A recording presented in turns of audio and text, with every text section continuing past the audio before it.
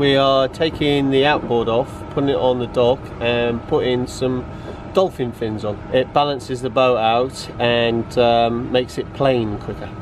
Cool, so it makes the dinghy more efficient. More efficient and easier to handle.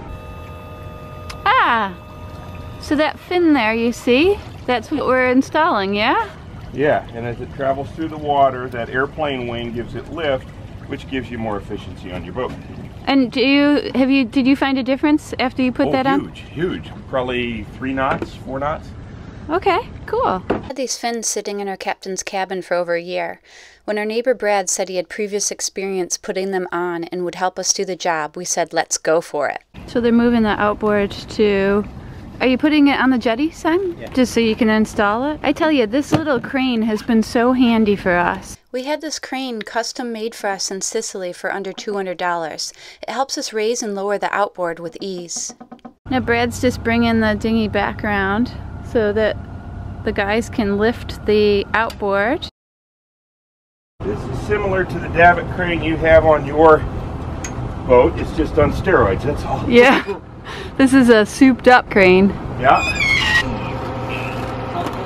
Okay. And you know which side to lay it on, right? Side without the handle. Yeah. Without the tiller. That's normal on a outboard. Does it slide on just like that and then you bolt it in? Yeah. Ah, so they just kind of slide on. I don't know where it needs to be positioned though. Do you want me to give you the instructions? There you go.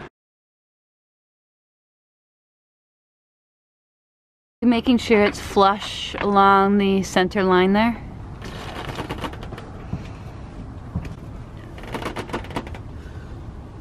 How's it going so far? Well, it, it's not going great because um, the drill, we can't drill straight uh, from either end, either from the bottom or the top. So uh, it's going to be interesting, As with everything. as with everything. So why can't you drill straight? Because this part of the body is in the way. Oh, the actual shaft is in the way from the drill going straight down. Yeah. Okay, I see the problem. Have you read the instructions? Yeah.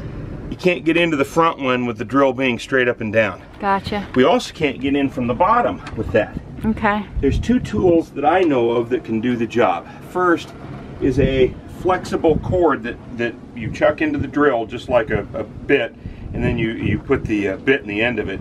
But it flexes and it also spins. So that allows you to get somewhat of an angle either way, front or back. Another way to do it is a right angle chuck onto the drill head. Anything else you, you ladies would like? Just food. Okay. Don't come back without any food.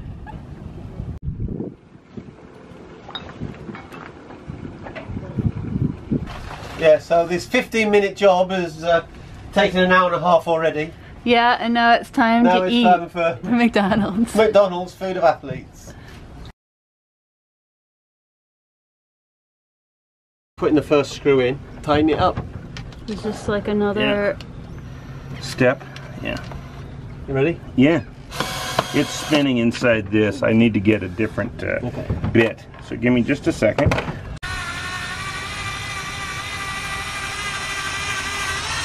Okay. Is that good? Yeah.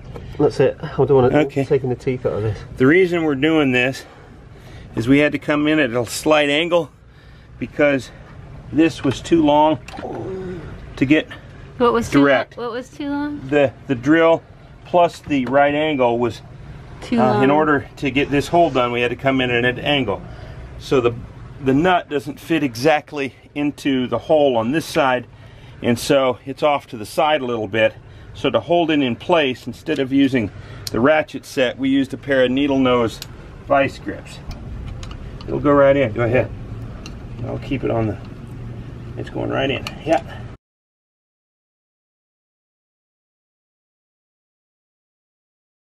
The other thing we could have done is chuck that up, chuck an end up in the uh, drill bit, but this works fine. What is it? I'd rather be in a boat with a drink on the rocks than in the drink with a boat on the rocks. Mm-hmm. Something like that. Okay. And we are clipped in and ready. for you, sir. Tighten her down. If you'll hold it steady with this and give me this head. So tackling it from both ends.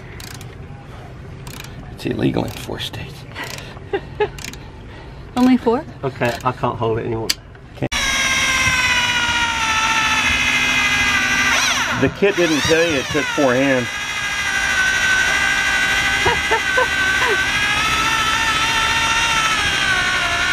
So are, are all the bolts in now? No, I just left one out. Don't be sassy. Yes, we're done. So Sienna's going on board to show the guys how it's done. And heave. And heave. Gonna let her out slow. Gonna let her out slow. Okay. Okay. Now the tide's really going. You made it! It was a long journey. Previous to having the crane, we tried to use halyards, and that was disastrous. This crane really paid for itself after we popped our dinghy. The dinghy was sinking, and we needed to remove the outboard quickly.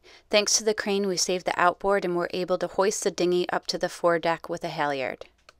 It's hot, but it's on, and uh, very thankful to Brad for helping me out. And uh, so when are we going to test this out? We're going to test it out in the next couple of days. Awesome. There's only one thing you need to do this job good neighbors.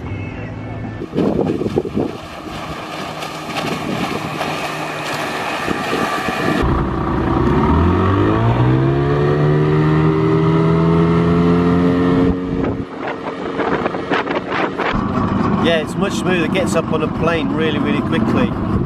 People will be saying, but you've got all this water fanning out. Yeah. Yeah, you there's a spray, like a I don't know. fantail you Yeah, had. it- it's a new dinghy to us, and on our old dinghy it didn't do that before, and I thought the fin might correct it. It's because we've got a long, long-legged uh, outboard. I don't know if anyone knows. Could they let us know? Yeah, why we have a fantail. Why we have a fantail you like just want to look cool, don't you? Yeah. It looks impressive. If you want to know more about being a full time sailing live aboard, our aim is to help entertain, educate, inspire, and connect with other sailors. Please subscribe to our YouTube channel to receive notifications of new videos. Check out our online bookstore where we sell helpful sailing guides. Visit our Etsy gift store for nautical t shirts, jewelry, pillowcases, spices for sailors, and more. Or join our community on Patreon.